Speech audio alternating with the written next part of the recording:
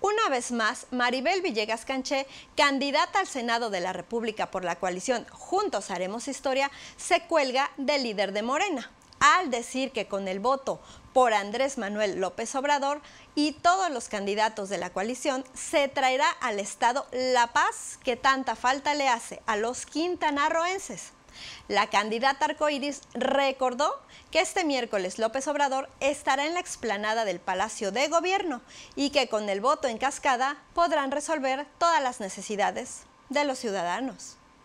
Tal parece que a falta de ideas propias, Villegas Canché solo sabe hablar de su líder de partido, Andrés Manuel López Obrador. Y ha de creer que al mencionarlo en cada caminata, las personas se olvidarán que ella no hizo nada mientras fue diputada.